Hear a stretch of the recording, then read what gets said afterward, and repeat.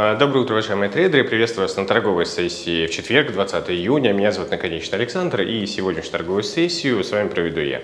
Давайте рассмотрим ключевые события предстоящего дня, на что сегодня точно стоит обратить внимание. В первую очередь, это новость, которая в экономическом календаре будет выходить в 11 часов по времени GMT. Это решение Банка Англии по процентной ставке. На текущий момент времени напомню, что процентная ставка в Англии составляет 5,25%. И э, мы ожидали, что э, многие банки начнут снижать процентные ставки.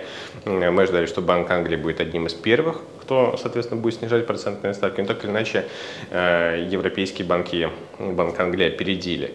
Ну что ж, возможно, сегодня настанет очередь и Банка Англии, и Банк Англии тоже снизит процентную ставку. А связано это с тем, прогнозы с тем, что э, вчера выходил отчет по инфляции.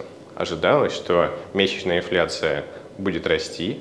Мы с вами вчера говорили о том, что нас 0,3% инфляция может вырасти на 0,4% в месячном выражении, а годовая инфляция достигнет целевого значения в 2%.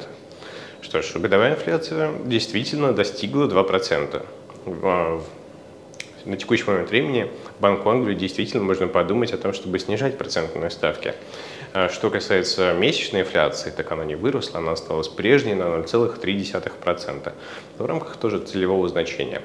Исходя из этого, мы можем э, действительно полагать, что Банк Англии сегодня решит, примет решение да, снизить э, процентные ставки, что, безусловно, может очень волатильно сказаться на курсе британской валюты. Э, фунт к доллару на текущий момент времени торгуется выше отметки 1.27, в районе 1.2720. И если будет принято решение о снижении процентной ставки, мы э, с вами будем видеть нисходящую тенденцию э, ниже отметки 1.27 с первой целью 1.26.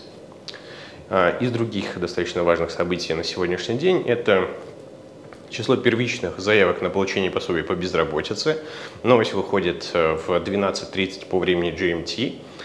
А, данные, а, не сказать, что выходят положительные для, а, для американской экономики, поэтому посмотрим, как на это отреагирует рынок. Сейчас индекс доллара находится, продолжает находиться в восходящем тренде.